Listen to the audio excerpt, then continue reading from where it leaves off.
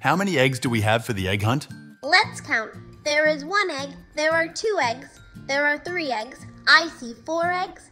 Now there are five eggs. There are six eggs. I count seven eggs. There are eight eggs. That makes nine eggs. There are ten eggs. Now there are eleven eggs. I see twelve eggs. There are twelve eggs. Nice job. You're correct. There are 12 eggs. Now, how many are the color blue? There are two blue eggs, a light blue egg and a dark blue egg.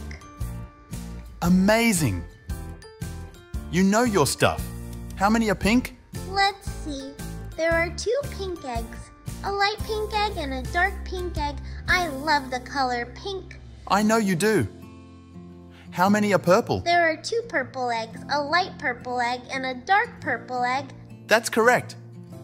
How many are the color orange? I don't know. Let's see, there are two orange eggs, a light orange egg and a dark orange egg. There's no stopping you. This might be tricky, but how many eggs are yellow? That's easy. There is one yellow egg. Right again. Now, how many are green?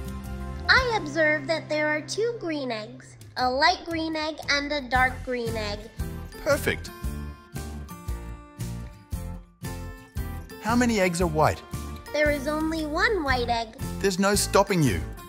Now, if we take all the eggs away, how many places would be empty without an egg in the egg container? Let's find out by counting. One, two, three, four, five, six, seven, eight, nine, ten, eleven, twelve. Thank you.